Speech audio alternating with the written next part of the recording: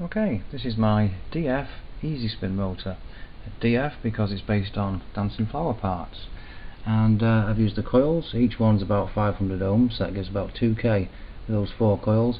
I've got two magnets on the rotor, and they're also from Dancing Flowers. And uh, the circuit is Lidmotor's, that's his electronic version. Um, I don't get any flash at all on the LED and I guess because of the resistance of the coils.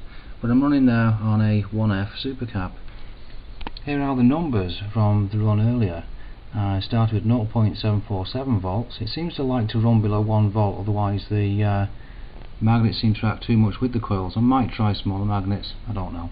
Anyway 11 o'clock 0.747 volts.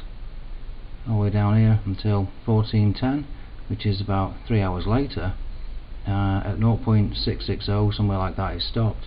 I left it for 5 minutes and then just sort of had a look at see if it recovered any and it had to 0.671 so started it up and it ran for a good quarter of an hour extra.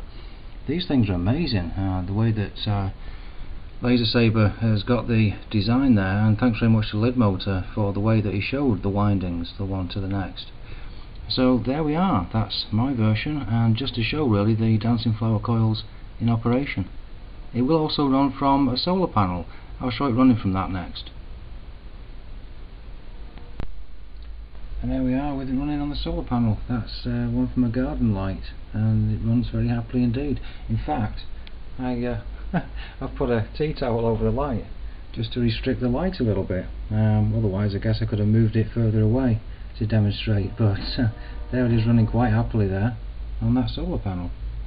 Um, for the 1F supercap I just uh, use one of those 3 volt button cell type of things, put that between the legs of it for a couple of seconds and off it goes.